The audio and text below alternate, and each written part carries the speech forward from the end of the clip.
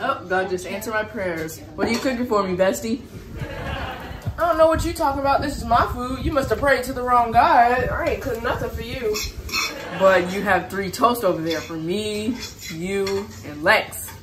Yeah, I'm hungry. Hurry up. You can't rush what ain't yours. I'm trying to eat my bag of food. You talk too much.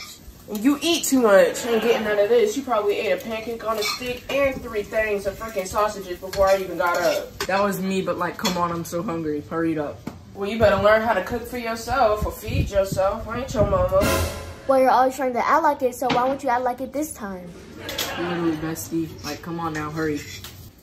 Girl, you must be insane. Oh, you're gonna feed me. No, literally, me too. You must be out of your mind. Touch the toast and I cut your fingers off. Dad, we will share food. Dang gone, what y'all want now, man? Don't share her food.